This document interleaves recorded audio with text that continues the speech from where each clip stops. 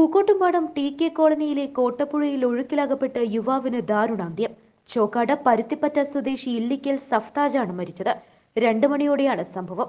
സാമൂഹിക മാധ്യമങ്ങളിൽ വൈറലായ പ്രദേശമാണ് കെട്ടുങ്ങൽ. ഇവിടെ കൂട്ടുകാരുമൊത്ത് കുളിക്കാനെത്തിയതായിരുന്നു ഇരുപത്തിയാറുകാരനായ സഫ്താജ്. കെട്ടുങ്ങലിൽ രണ്ട് വഴിയായാണ് പുഴ ഒഴുകുന്നത്.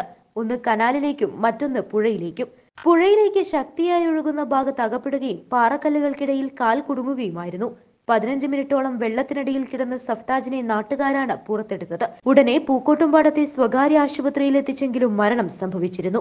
തുടർന്ന് നിലമ്പൂർ ജില്ലാ ആശുപത്രിയിലേക്ക് മാറ്റി. അംഗീകൃത ടൂറിസം കേന്ദ്രമല്ലാത്ത ഇവിടം അപകട മേഖലയാണെന്ന് സൂചിപ്പിച്ച് പഞ്ചായത്ത് മുന്നറിയിപ്പ് ബോർഡ് സ്ഥാപിച്ചിട്ടും നിത്യവും നിരവധി ആളുകളാണ് ഇങ്ങോട്ടേക്ക് എത്തുന്നത്. News now Pookkottumpadam. Teddy Baby Diaper and Pants made for Indian baby body type.